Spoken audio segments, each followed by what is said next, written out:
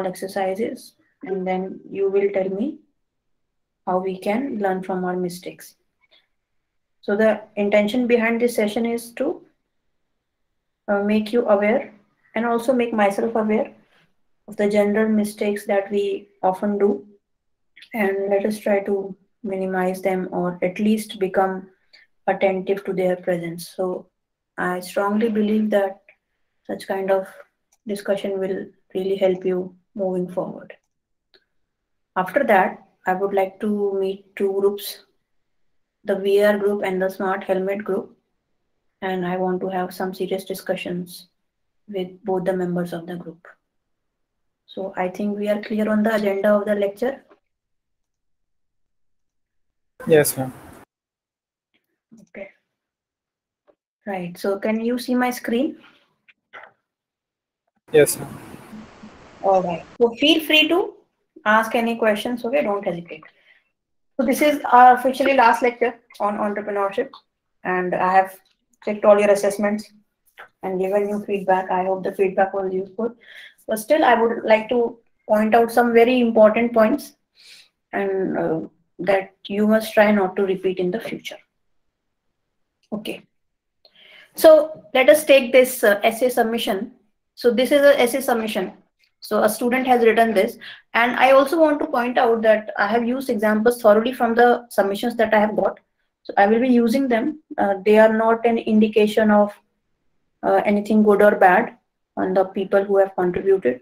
I'm just using them as references to make a point. So please do not try to take it personally. It is no names are mentioned, but still just uh, let us try to learn something from these examples. So that is I want to say. Okay, so going forward, if you read this submission, so it was about negotiation in real world. So if you come across something like this, uh, what is your first impression?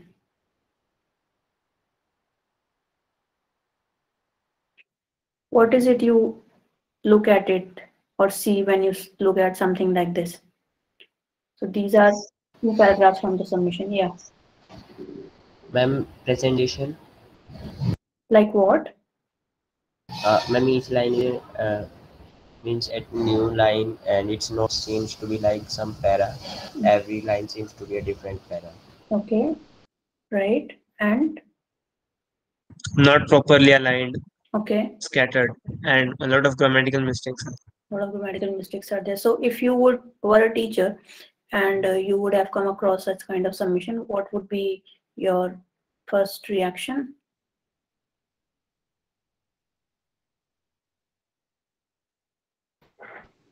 Or even if you were reviewing someone else's work and your friend handed over this work to you, what would you tell him or her? Ma'am, definitely first to correct the spellings uh, and the means we get the proper meaning from every sentence. It shouldn't be like uh, there are many sentences that don't give a clear picture or not even a scattered picture. Right. So, as you have already pointed out, most of the things that can be improved, uh, maybe maybe the person did not have access to Microsoft Word, and uh, somehow they tried to do something, but ultimately it was of 10 marks. And sending such kind of submissions, you know, these errors can be minimized. You should not be losing your marks just like that for things you can work on. So try not to repeat this mistake. Now let us look at this essay. So this is the complete essay. It has four paragraphs. It is neatly organized. It has some mistakes. However, there is a flow in the story and it is extremely easy to understand this kind of submission and feel that the author has written something substantial. So I'm not saying a perfect essay or perfect writing does not have error. I'm just saying it has a structure. It is coherent and things make sense when you read that. So just contrast this one with this one and you will understand that there are certain things that you can take care of and uh, silly mistakes that you can take care of so that you don't end up losing marks unnecessarily. So some of the major issues in academic essay writing and normally in our schools and universities, academic writing is not taught prominently, but it is very important uh, because you will be working on your projects, reports, thesis, and even in future, you will be supposed to write documentations for some new softwares or some prototype that you're creating. And the language used in such kind of documents is very different from journalistic writing or newspaper article writing. That is why it is extremely important to understand what is academic writing. In fact, you uh, have summer vacations. When are your summer vacations starting? It is going on. Right? Going on? Yes. So till when? Uh, sorry, you asked for summer vacation. Na? The Like, sem break is Sem break, going on. sem break, sem break. Uh, the sem break is going on till 15th August. it is. 15th August. Hmm. Yes. Okay, so you have good amount of time to open certain things, and by the end of this lecture, I will share some material that you can use. so, okay. So the major issue in academic essay writing is that the student has not understood the question in the essay.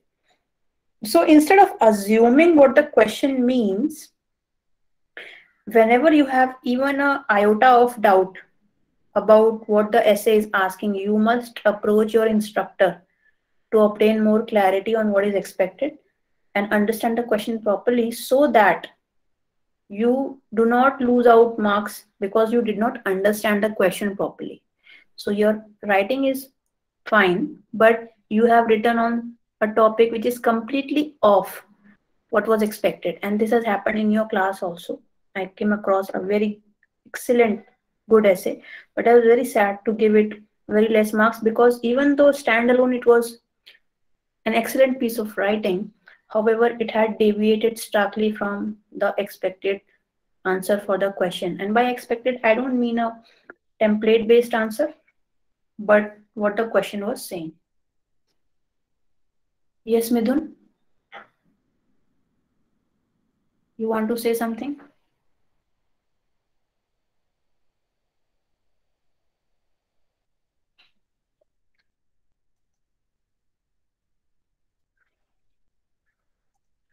So I'll continue.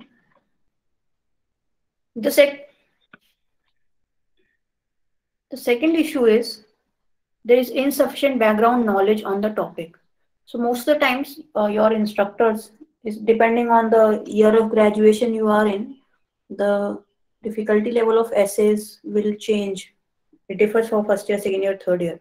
So uh, if you have insufficient background knowledge on the topic, then it is advised that you read and gather knowledge before you sit to write because this is not a novel you are writing this is not a story you are writing it is something you are writing when you are reflecting on something. So that means you need to read about it especially if it's not related to certain experience of yours. But reading is not enough. Gathering knowledge is not enough unless and until you reflect on what you have read. So what do you mean by reflecting on reading? What is it according to you? What does it mean when I say you need to reflect on what you are reading?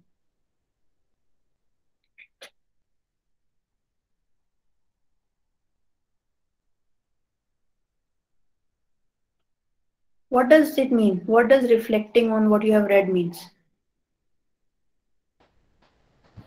Uh, ma'am, is it like uh, what I want to convey? I must write the sentences according to that, or my writing should be like what I want to carry to other person.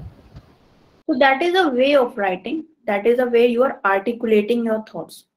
Reflecting means you really discuss what you are reading with yourself, how far it is true. Is the author absolutely correct in stating something? Or is author not considering some aspects and has made a general idea which may not hold true everywhere? Again, think about critical analysis, critical reflection. So, for example, when you post something on Facebook, a post, and there are so many comments that come up in which people are talking about all the different ways in which it can be considered. Some are opposing the opinion, some are approving of the opinion, some are supporting it. So, basically, they are all reflecting on what has been posted.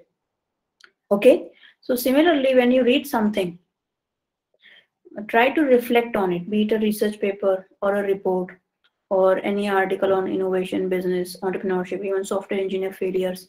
So that is what reflection means. Is it clear now? Yes, ma'am. Yes. Yeah. Because uh, your instructor will not give you marks for uh, taking information from one bucket and putting information on other bucket, which is your assignment. That is not the point of assignments.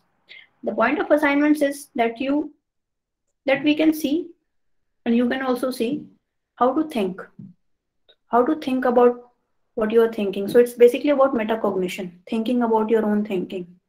So it is never about uh, showing your knowledge entirely. It is about knowledge balanced with how you are reflecting on the piece of knowledge that you have. So that is extremely important. So next time when you read any piece of news or anything, sit with yourself after reading it and ponder over it.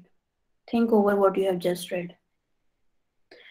The other issue that students normally face is trouble in organization of thoughts. So what I found uh, quite a useful technique uh, when we have so many thoughts going on inside our mind and we don't know what to write and how to organize our essay, one thing I really found useful and I always suggest to students, even my friends, is creating of a mind map. So let us see what a mind map is. So suppose I give you an assignment in which uh, you are supposed to write what an essay on what I should study. So if you look at this, so this is a mind map. So this is the central idea. Can you see my cursor? Yes, Yes, ma'am. ma'am. So this is the central idea, what I should study. Then the first level distinction is favorite subjects, good subjects for jobs and least favorite subjects. So at the first level, the student has made three categories. So basically three upper level categories. Favorite subjects, good subjects for jobs and least favorite. And then he or she has branched it out. So in favorite subjects, he has art, history, English. In good subject for jobs, this person has selected journalism, business, or least favorite subjects this person doesn't like science.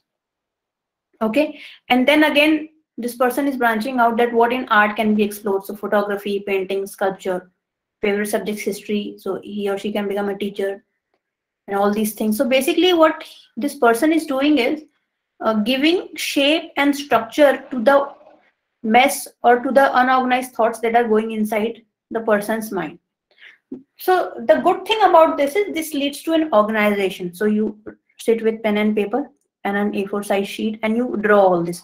So now your thoughts are a bit more organized before they were before they were when you created a mind map. So now what will happen is when you create a mind map before writing an essay, first of all, you can understand, okay, what all is going inside my mind. Then you can prune, no, okay, I don't want to study any sub favorite subject. I want to study only subjects which are good for jobs. Then you will cross all these trees and focus on this and maybe branch it out. So this is the first level mind map. So always write down everything that is coming in your mind and try to organize it. So if you look at, even though it is in form of a diagram, but it looks much more organized and it will give you a direction to proceed. Personally, after I have started using this technique, I think two years back, Uh, the quality of my writing i have myself seen from the reviewers and you know all my friends. I personally have seen that there's a structure in the writing and it leads to better reception at the audience and they can better understand. So and you can also test this. So maybe if you participate in some essay writing competition or something and you write an essay on some topic and you organize it using mind map and then write you will see a huge difference in the way you are writing. So from the same example, now the student says that uh, he or she has pruned the map, the same map, mind map, to identify the most pertinent aspect for the essay. So this person wants to uh, study the subject based on only for the jobs and then then again uh, so they will write about these particular aspects so this is how mind map can help you organize your thoughts. So next time when you start writing an essay, uh, read what you have supposed to read, reflect on it, and then do not jump to your laptops to write the article. I would always suggest create a mind map and then start writing. And now I I also accept that uh, not everyone would be comfortable with this technique, but this is something you can only identify if you're comfortable or not after using this technique in real life. And please let me know how you found how you found it after using it. So is the concept of mind maps clear now? Yes, ma'am. Yes, ma'am. So hopefully you guys will revisit your negotiation and critical reflection essays and try to see, or at least if you can create a mind map for even one of these essays and see the difference it creates, it would be really useful for you going forward. Now, so this is basically the distribution of uh, marks in the negotiation essay for the class. Uh, so most of the students scored between 5 to 7 and uh, very few more than 9 so this is basically i just wanted to show you the distribution however when it came to the critical reflection essay this is the distribution of marks so this is not for only ec or csc but the entire class so um, can you see any difference between these two and what does this difference mean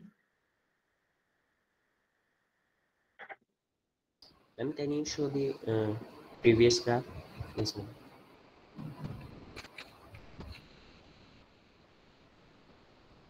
So let me put them side by side for you.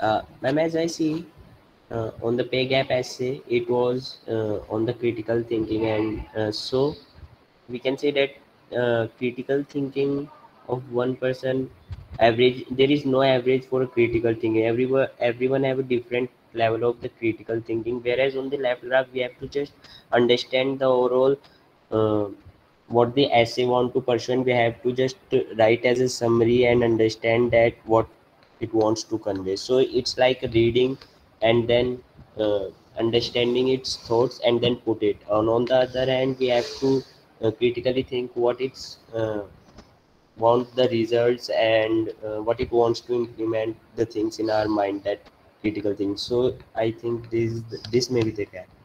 Okay, thank you, Vishal. Anyone want, anyone else wants to have a go at it? Or explain what could be the reason behind this difference in the distribution of marks? So one thing was clear that in the second essay you were giving a you were given a material to read. Okay, it was around more than 10 pages long, and uh, so everyone was reading the same material, and they, you're supposed to reflect on it. And whereas in the first assignment, everyone's story was different, and they were not reading anything but writing what whatever that was coming in my mind. And this is one of the explanations that I'm giving. There could be many other explanations. So what I thought was that um, most of the students may not have thought critically. They may be stating the obvious facts in the second essay, maybe copying from here and there. And that is why uh, I could not see much dis- difference in the distribution of the marks. Because most of you were basically saying the same things. But very rare it was found that uh, some students had actually reflected on it. So basically, this portion, the still six, these are basically writing uh, the same things. They are just maybe it, the articles are more about uh, filling, emptying bucket from somewhere and filling it in the other document. So basically, not about reflection much. So this is one thing that I found could be reason behind such a difference. Anyway, normally marks distribution is generally a bell curve. So if most of you would have critically thought on the topic, then I, I think the distribution may have been like this, but that is my observation. So one thing that was really different in these two assignments was that you were given something to read in this one and then reflect on it. Whereas in this one, you were supposed to write your own thoughts. Okay. So other thing I want to talk about is using data and figures and images in your essays. So most of you in your market structure, segmentation, competitive analysis, have used excellent figures, data, and images. And if you have carefully read the feedback that I have given, uh, you may guess what I'm going to talk about. But uh, talking about this is essential even to a group because so far I have only given such kind of feedback to the individual team members, but I think it is important to discuss it collectively also. So let us see. So suppose you come across this submission, and again I'm pointing out, I'm just using these for examples. So suppose you come across this kind of submission. So what will you think when you are going through an essay and it has this graphic inside? So what do you think when you look at it? My entire attention will go to the graphics. Okay. Okay. Okay. So what is there in the graphics that it is seeking your attention? Uh, well, ma'am, there is some uh, total vaccinations that has been happened till now, and other information that I'm able to see in the image. Other than that, I'm not focusing on any other thing. Okay. The Yeah. thing is, you mentioned you can see total vaccination, and for the other pieces of information, you said other information. Yes, The thing is that the other information, it has been put there with the intention of sending some message, but, but because it is not really visible to the Hmm. naked eye, it is creating problem. So the figure is from Ministry of Health website. It's a very strong source. However, there are certain problems with this. And we will discuss them here. The figure is extremely important for the piece that has been written. However, it is not able to achieve what the authors may be desiring to achieve. Why do you think it is happening?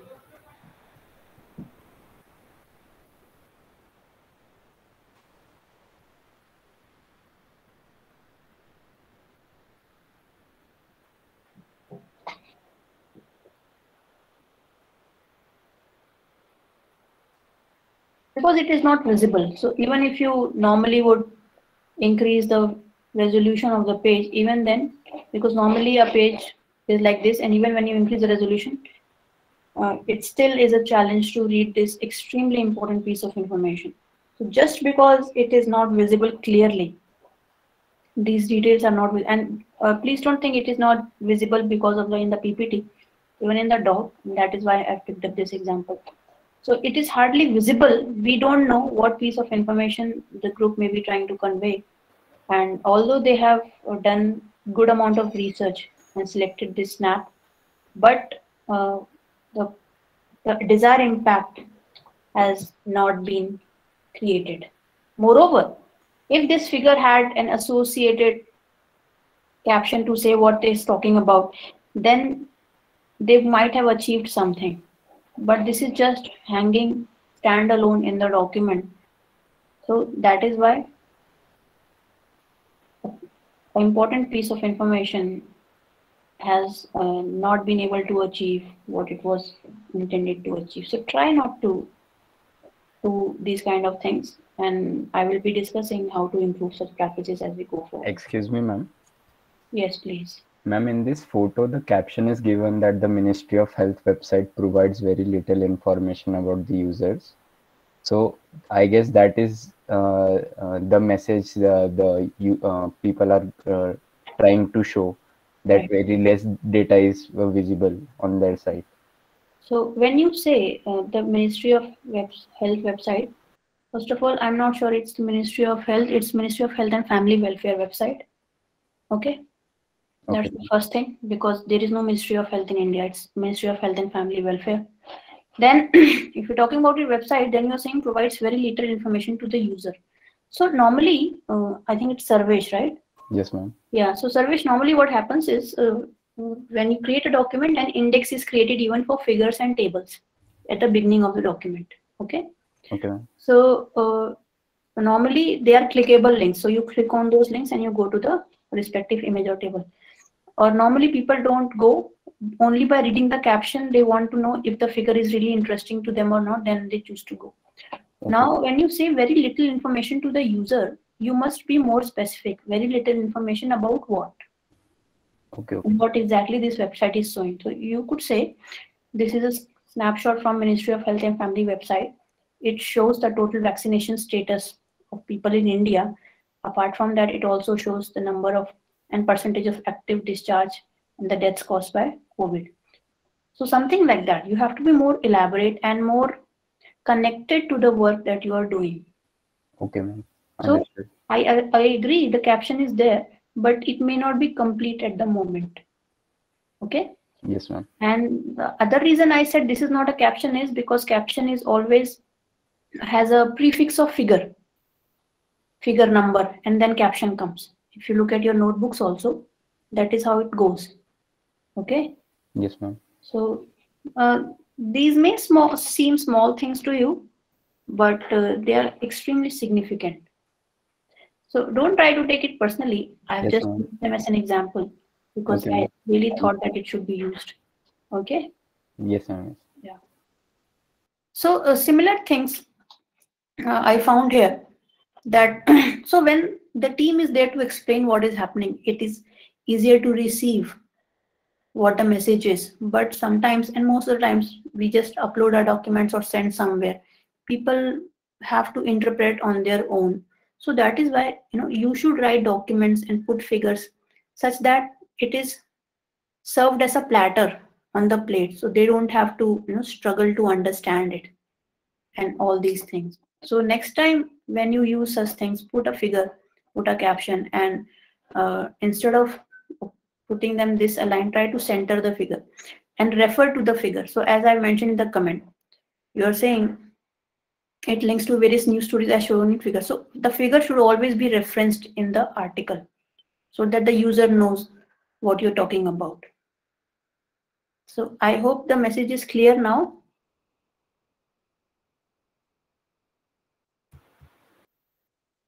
Yes, ma'am.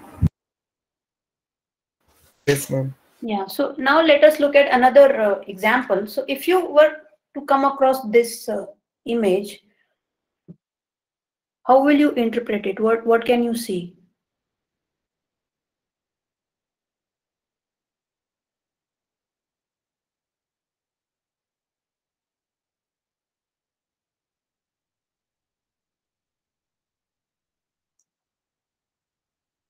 What is happening here?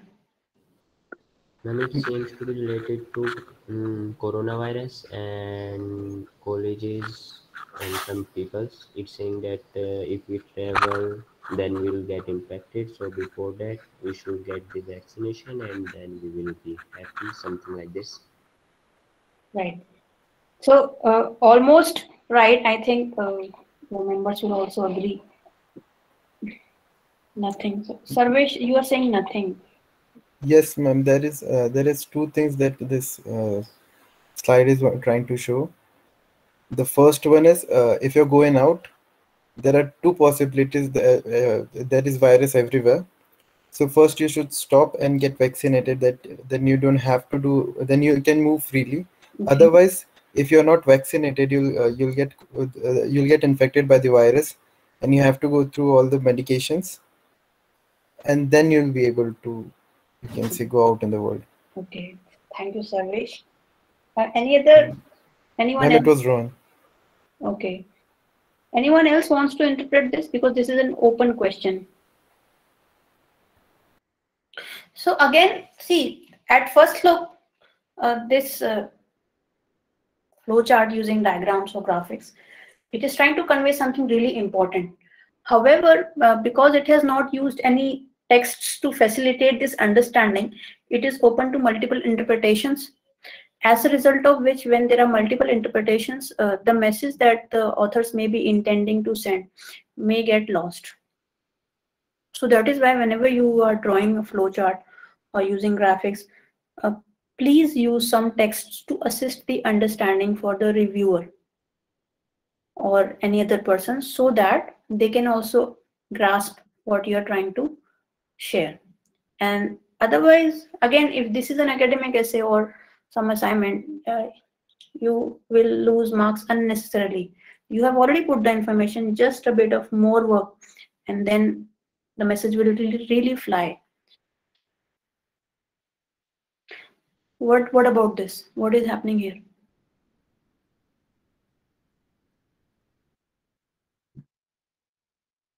So I know understanding these figures be, uh, without the context will be difficult, but even with context, uh, sometimes you know it gets very challenging to understand the graphs which which do not have assisted text with them. So that is why normally if you know some text here, some text here, some text here, that could explain what is happening, then it would really do justice to this image because definitely a lot of hard work has gone into creating this image that we all can know because there is a lot of thinking that the people have put in. However, since they have done so much of hard work, it would also would have been great if some assisted text would have been provided, then the understanding and interpretation would have been extremely good. So this is something we can learn from this piece. Now I want you all to look at this diagram and review this. So what do you think about this piece of diagram?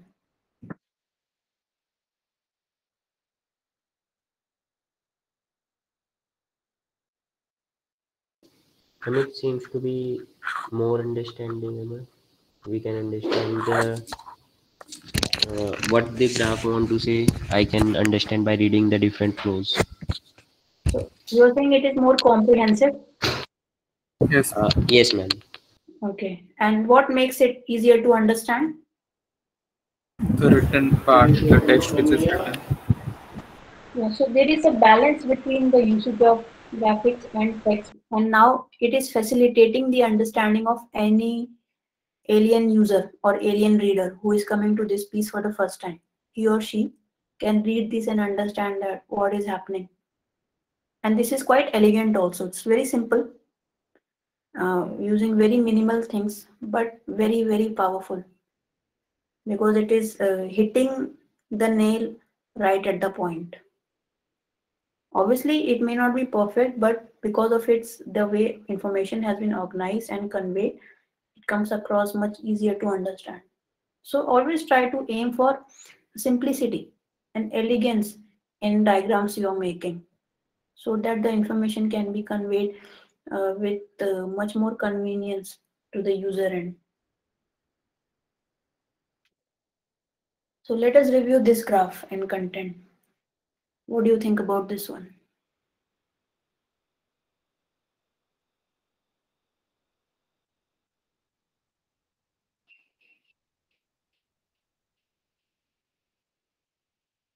So if you were to read this piece of uh, information in the document, uh, what would you think?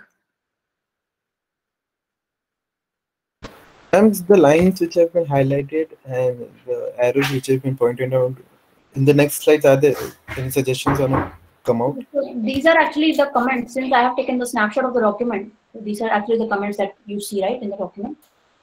These Yes, ma'am. Yeah. Okay, the, the ma'am, when you'll be explaining, is there anything gonna come at, the- No, no. at the no. end of the no? So the, hmm. the this is the way they have presented it. Yeah, yeah. So these red things are my suggestions and comments. So essentially, this is the piece that I want you to have a look. Ignore the red things. Okay, ma'am. Okay, ma'am.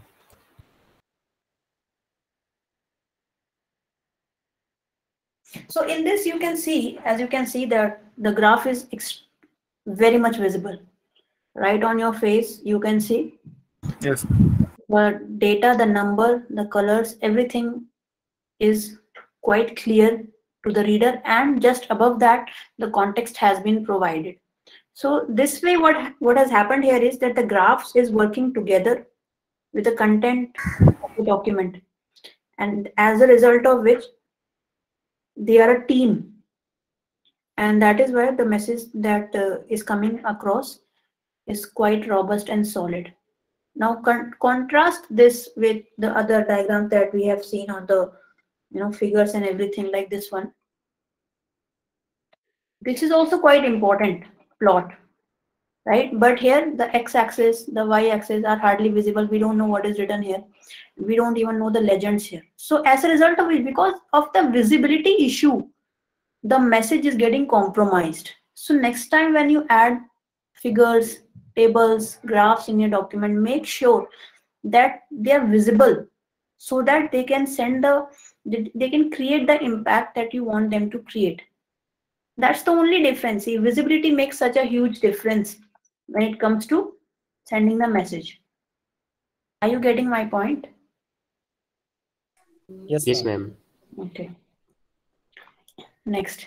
So similarly for this one also it's quite clearly visible and the the authors the point that they are trying to make is uh, further elaborated in their text.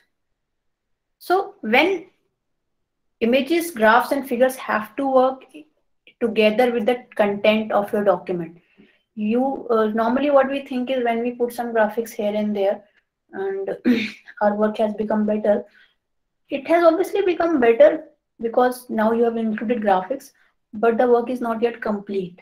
There is a lot more that needs to be done. And that is why this discussion is important because just pasting a figure in the document will not give you what you expect. You have to discuss that plot label it properly and then use the findings from that plot to make the point you're trying to make. So again, from this, I wanted to show you that your figure should be clearly visible. See these numbers. You can see them properly. The colors are visible. You can see the difference that the plot is trying to show. So this is an example of a graph that is able to achieve its desired purpose. Is that clear now? Yes, ma'am. Yes, ma'am. Okay. Now let us look at this. So kindly review this piece of snapshot and what do you what do you see from so far what we have discussed? What do you have to say?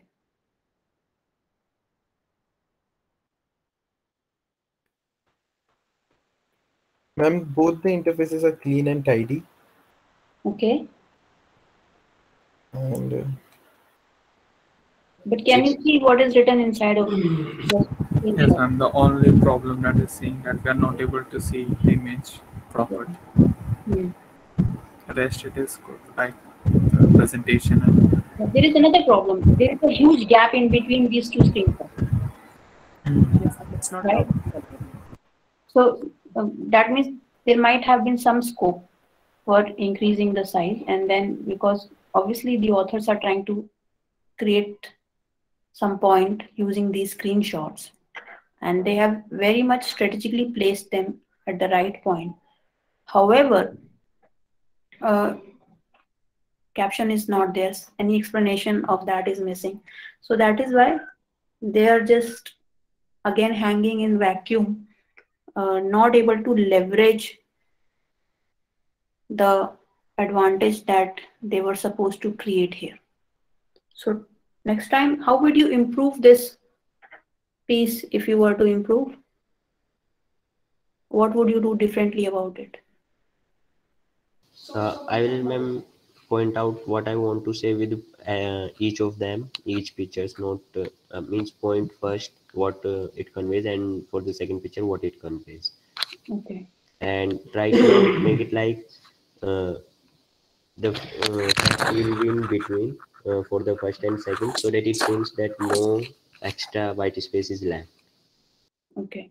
So make sure whenever you add send any screenshots or something, I know screenshots uh, are there for a reason, but uh, try to see that what is the importance of the text in the screenshot. And if that text is important in that screenshot, uh, it must be visible. The point that you are trying to make should come out very readily in the screenshots that you are sharing. Otherwise, uh, because see, you have a story in your head, the reviewer does not know your story. You are trying to communicate your story to the reviewer or to the audience. So that is why you have to literally take it step by step. And all these things, they might look uh, very unimportant to you at the moment, but trust me, uh, they can create a huge difference going forward. Excuse me, ma'am, can we get back to the last slide, please? So here we were just comparing the screenshot that we have took, not the Okay. interface. Okay. So again, uh, uh, so I, I think who is this? Rishikesh? Um, uh, Ron. Okay. So, uh, friend, uh, when you said, and thank you for explaining that because now we are not operating in a hypothetical universe. But again, you could have added a figure and caption to say exactly what you're what you're trying to achieve through this snapshot. Because So, as I um, mentioned, I know you no, have the text. No, ma'am. Actually, I'm asking is, uh, here in this topic, were we comparing the screenshots or the interface? I don't know. It depends on what the team was trying to convey. Because there is no caption, so we don't know what exactly is happening here. Okay, ma'am. Because uh, uh, the idea which popped up in my mind uh, that uh, when I first saw these two images was, ma'am, what happened in China, uh, like the case study that I came across personally.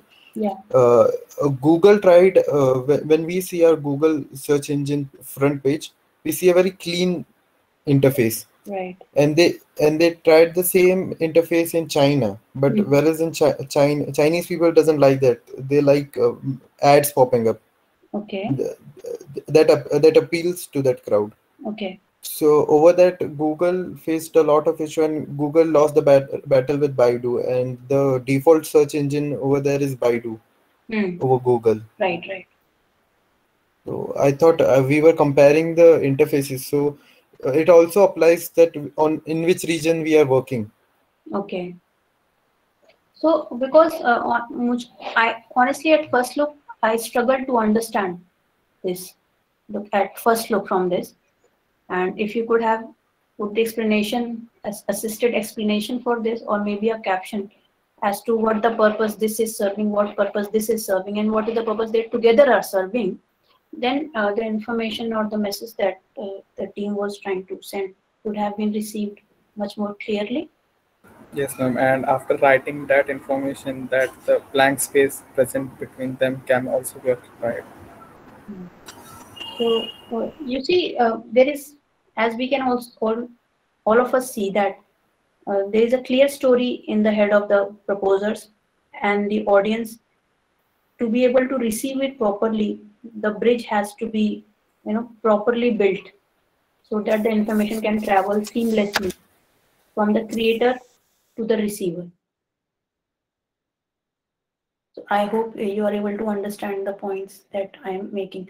But thank you for raising that point, dear. These such kind of discussions are extremely useful in opening up our minds. Now, uh, let us focus at this table. I mean, I know it's not drastically something incorrect with this, but still there is a lot of scope for improvement in this one. So the, the message here is that sometimes we look at stats and tables from other sources, and although we get the information, but it may not be that presentable. So rather than directly, you know, taking the image from there, sometimes what you can do is you can create your own table and put the information exactly as that and mentioning the source. That way it makes it much more elegant to and presentable in the document. So next time when you see some sources where information is good, and mostly I'm talking about the tables because figures you don't have this option. So tables, when they do not look so much presentable to you, try to create your own table. So in this case, you would create three columns and six rows and then populate the table and then mention the source.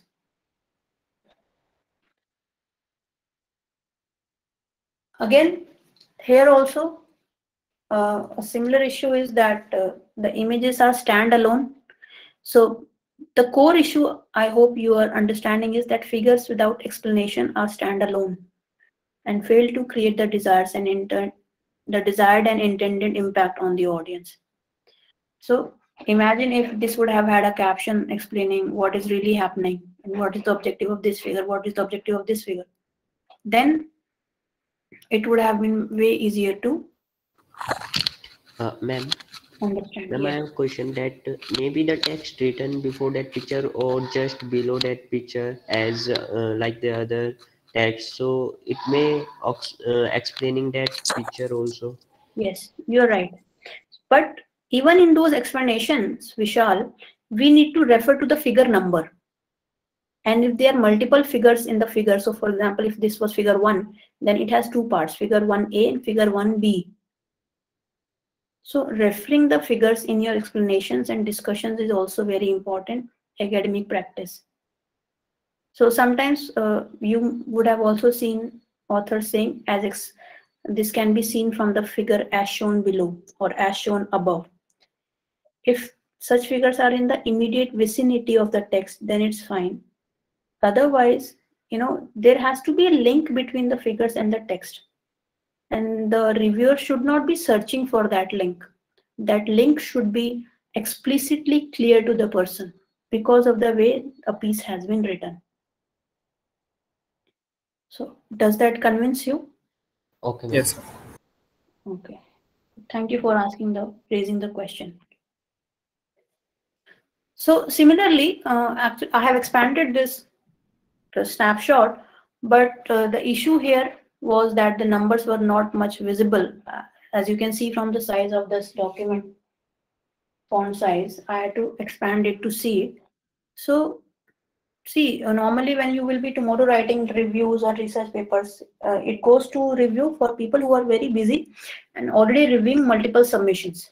So normally uh, they are looking for something which is easier to read and in which they don't have to put much efforts in the basic things. So you need to make things easier for your reviewers. Again, putting information in a systematic, structured manner so that uh, they don't have to uh, go through pains for the basic things and mostly they are not sitting with, with, a, with a magnifying glass at their end to be able to understand what is really embedded in the piece of the documents so these seem like very trivial things but uh, i can assure you that when you are using graphics and figures they assume uh, considerable importance so now I want you to, I request you to look at this flow chart and what do you think about this one?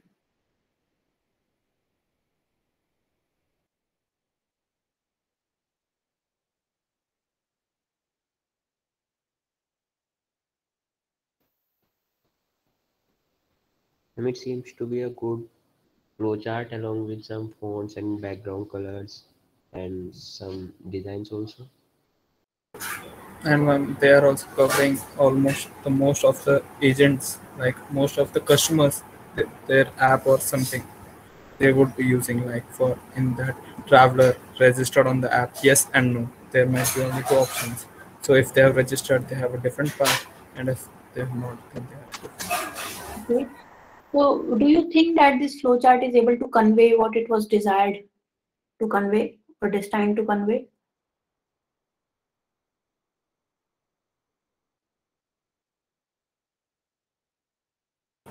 Yes, ma'am. I do not know about what the project was, but like according to my knowledge, which I'm seeing after seeing this, like uh, for example, a traveler is using an application. If you have he has registered for in that application, he would get points and discounts coupon. So it can he can he or she can use for later, and he would he or she would get suggestions according to the travel history and reviews. Okay. Right. So if there are multiple viewers of this diagram, they would all take back the same information from this diagram or flowchart. Now contrast it with the other flowcharts that we might have seen. So this is here the information relatively seems uh, flowing in a particular manner, which is supporting its reception and comprehension at the user end.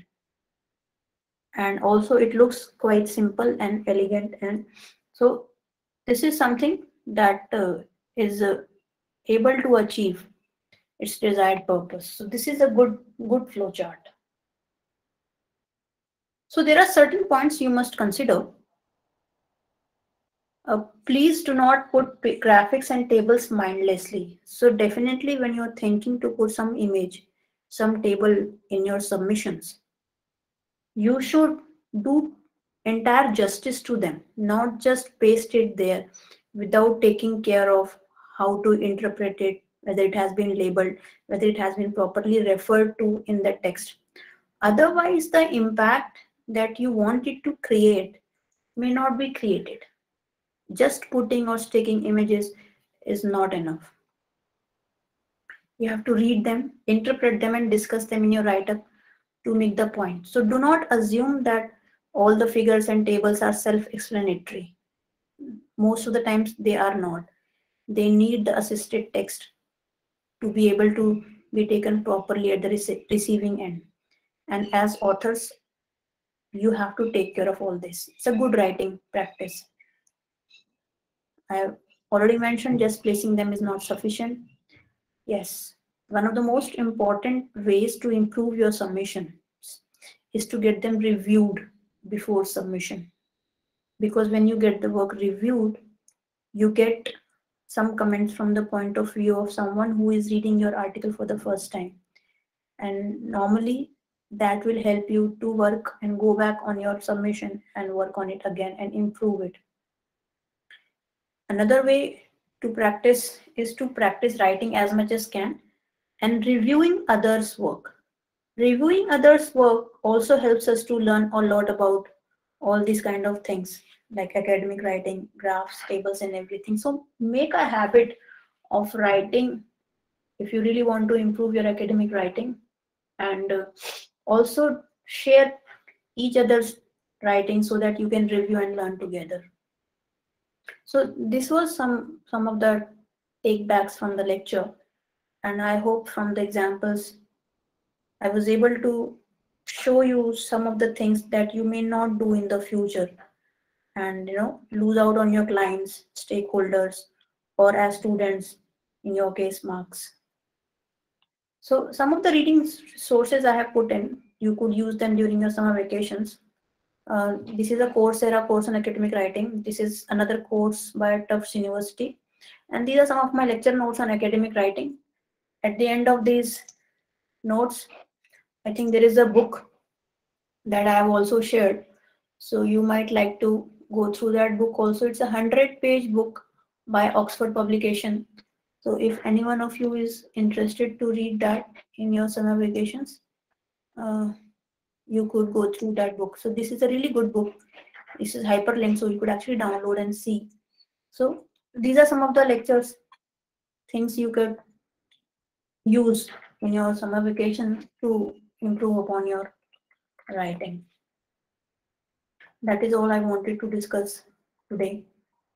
I hope the discussion was useful and that will limit you from creating mistakes. As much as important it is to learn from things we do right, I think we learn a lot more from things we didn't do right. I mean, at least it's my personal experience that uh, when things go wrong, we learn much faster than when they go right. So hopefully uh, you will try to incorporate the lessons we discussed today. And uh, next time when you're creating some submission, you will be mindful of all these things. So I thought that as last lecture, it is important to talk about because uh, I had uh, I really enjoyed assessing your submissions and giving feedback. And uh, I'm very happy to know that most of you are free thinkers and uh, have really put in a lot of efforts in that. So I I personally enjoyed uh, this journey with you. So thank you so much. So Thank you, ma'am. Thank you, ma'am. Thank you. I'll upload the article